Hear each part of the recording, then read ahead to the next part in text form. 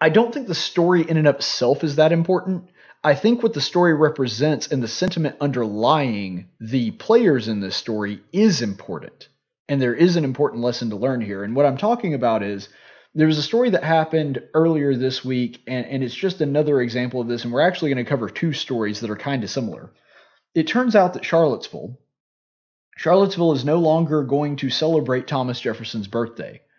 This was announced, I believe, early this week, Monday, if I'm not mistaken.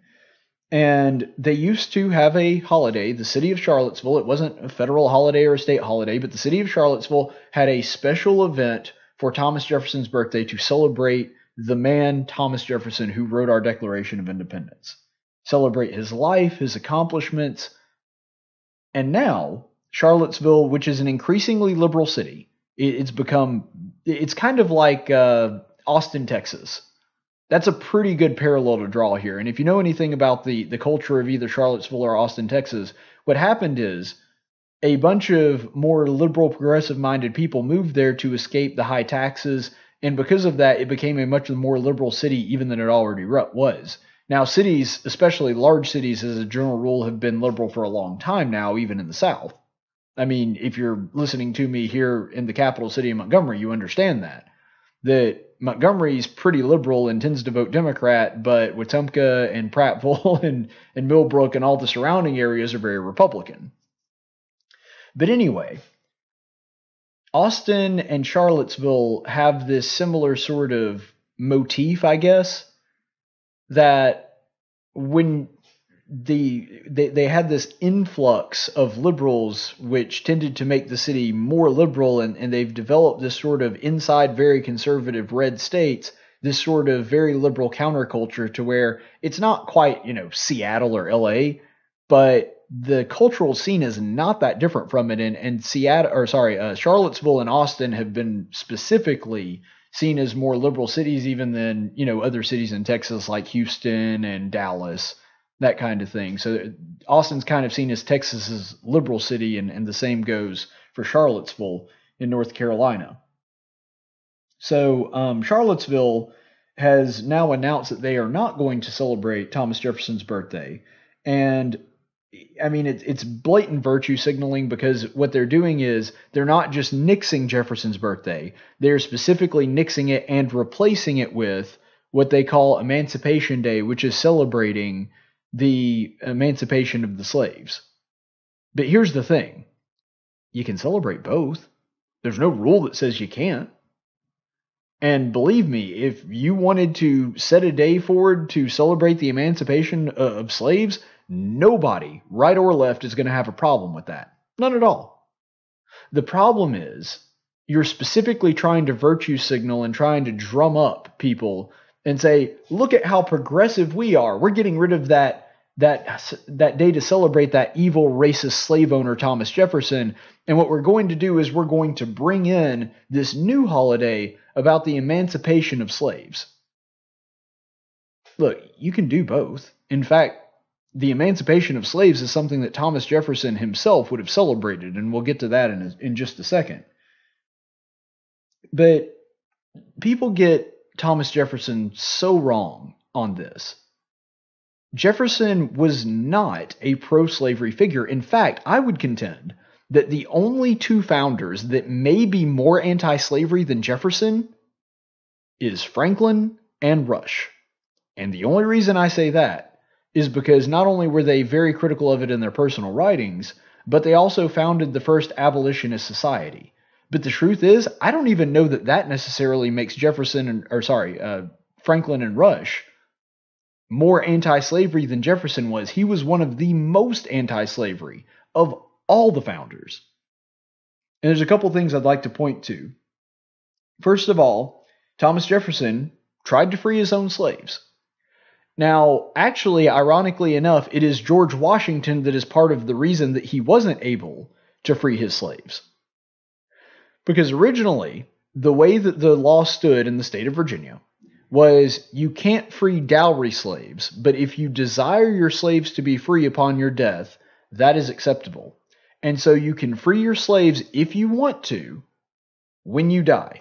And that's exactly what Washington did. He freed his slaves, or at least as many of them that weren't dowry slaves. And dowry slaves are ones that are inherited by your wife. When so when he married Martha, he inherited some slaves from her side of the family, and so he couldn't get he couldn't give those slaves his, their freedom, but he did give slave, uh, other slaves his freedom that he owned. So Washington did that upon his death. And when that happened, the state of Virginia reacted directly to that and said, yeah, we're just going to have people not able to free their slaves at all unless they're completely free of debt. Well, what happens when Thomas Jefferson dies? He tries to free his slaves, but the law of Virginia wouldn't allow him to do so upon his death because the man was over $2 million in debt. And we could go through the history of his debt about how he inherited a lot of that from his father and his father in law, and how that may have not necessarily even really been his fault. Regardless of all that, the point still stands that Thomas Jefferson wanted to free his slaves, expressed that desire on multiple occasions, tried to free his slaves upon his death, and the state of Virginia's law did not allow him to do so. And so you've already got somebody that did the best that he could and tried to free his slaves but was not able to. And then you also have to look back. Thomas Jefferson passed anti slavery measures when he was a member of the House in the state of Virginia and went to court on three separate occasions to try to get slavery overturned and get it outlawed. Once in the state of Virginia, once at the federal level, and then once again in France. He was even trying to get slavery undone in other countries. That's how anti slavery this guy was. And while he was president, he tried to get anti slavery measures through. This guy understood that it was wrong to enslave another person and to have him work for you without compensating him. Have him work for you without his consent, to violate his free will and force him to do something on your behalf. Jefferson understood that was wrong, and we should expect nothing less from the man who said, All men are cre- created equal. And by the way, you will notice in that original draft of the Declaration that I just read, his original draft of the Declaration of Independence. If you'll look at the very first page, you'll notice that in that line, where he says all men are created equal, if you were to look at the original Declaration of Independence, it says that all men are created equal and that they are endowed by their Creator with certain inalienable rights. That's not what Jefferson's draft says. It says that all men are created equal and independent. Jefferson understood that slavery was wrong. And he made that case. That was part of his life's work to make sure that the slaves were freed.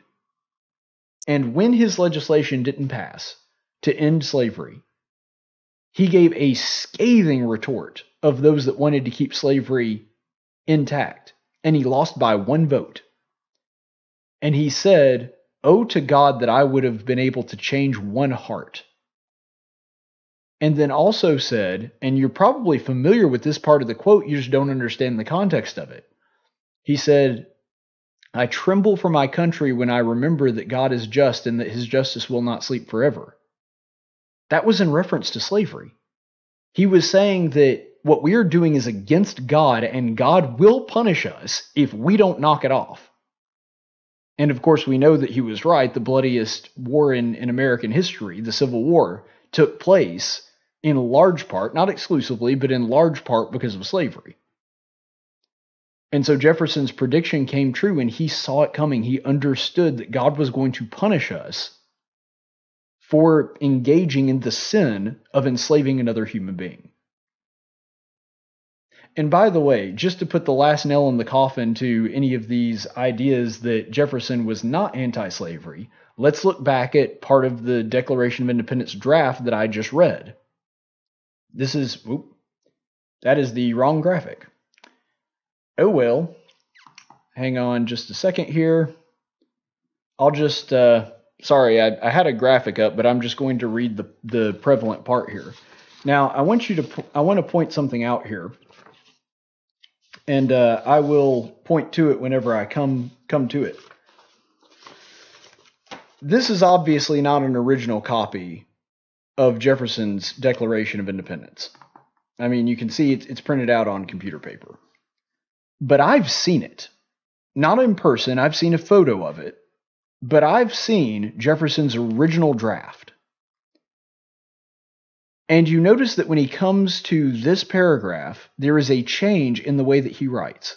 Jefferson doesn't capitalize things much. In fact, he doesn't even capitalize the first letter of most of his sentences, which the grammar rules were a little different back then.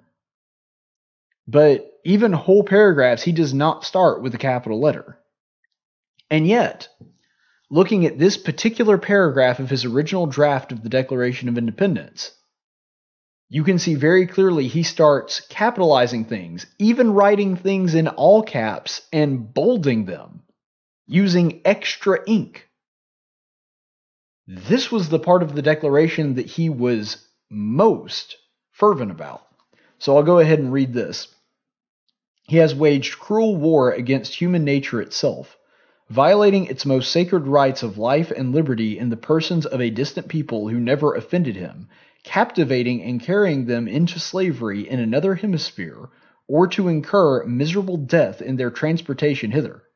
So he's saying it's wrong that King George is taking people who have never offended him, never done anything wrong, never taken his property or committed any crimes, that he is stealing them away, taking them away from their homes, bringing them into bondage in another hemisphere, or to die on the slave ship on the way over. So he's calling out the king on being a supporter of slavery. And he continues on. This practical warfare in uh, oper, uh, opprobrium of infidel powers. Now he he sort of bears down on his pen here in infidel you see, what he's doing is he is calling the King of England a heathen for doing this. When he's referring to him as an infidel, he's saying, This man is not a Christian. This man doesn't live the principles of Jesus Christ. That's what it meant to call someone an infidel. Uh, infidel powers is the warfare of the Christian, Christian in all caps, Christian king of Great Britain in other words, he's saying, How dare you call yourself a Christian and continue to support slavery? And it continues on determined to keep an open market where men, men is in all caps, should be brought, bought and sold, he has prostituted his negative for suppressing every legislative attempt to prohibit or restrain this execrable commerce. Now, what does execrable mean? It comes from the root word excrement, meaning feces. So, yeah, I mean, it's not exactly a cuss word or anything, not that I think that Jefferson would have condoned that anyway, but he's saying that this commerce basically is human feces. That's how strongly he felt about this. And notice that what he is being critical of specifically is legislation that was anti slavery there were two states, Rhode Island and, and uh, uh, Rhode Island and Massachusetts, that tried to outlaw slavery completely. And then you also had a couple of other colonies that were trying to pass anti slavery measures to kind of phase slavery out. So at that time, four colonies trying to get rid of slavery, the king quashed all of them. He said, Nope, we are part of the British Empire. You are a British colony. Therefore, you will engage in slavery. You cannot outlaw slavery. Every British citizen has a right to slave to own slaves if they want to. That was the king's rationale. And Jefferson is saying that that policy is crap. I mean that that's literally what he's saying in his response to King George quashing any efforts to try to end slavery over here in America. And he continues on and that this assemblage of horrors might want no fact of distinguished die, he is now exciting those very people to rise in arms among us, and to purchase that liberty which he has deprived them, and murdering the people upon whom he has also ob- obtruded them, thus paying off the forms committed against the liberties of one people with crimes which he urges them to commit against the lives of another and by the way, both liberty and lives in that statement is in bold in Jefferson's original draft. So, what's important to understand about that is that Jefferson's complaint here is so the king created a huge human rights violation by going over there, by kidnapping people, and by bringing them over into slavery in this country. And now what he is doing is he is promising freedom to those people by saying, Oh, we'll grant you your freedom if you fight for us and kill the people over here in America. If you join forces with us, we'll grant you your freedom. So he's the one that kept this policy in practice. He's the one that started this. And now he's using the very slaves that he himself enslaved to fight his enemies for him, paying off the debt that he owes one person at the expense of American lives. He's saying they should have never been in bondage in the first place, but you put them in bondage, and you're saying the only way that they can escape it is if they fight for you against Americans. And so you understand why Jefferson was pretty hot under the collar by all this. But what that does, and it finally puts the nail in the coffin, it really proves the point here that Jefferson was about as anti slavery as any founder and was anti slavery even in comparison to people that came much later. He was even more of an abolitionist, I would say, than a young Abraham Lincoln, who became much more against slavery the older he got. But Jefferson was very vehemently against slavery. And the fact that people nowadays don't understand that just absolutely blows my mind that they think of him as being a pro slavery figure. There's absolutely no truth to it.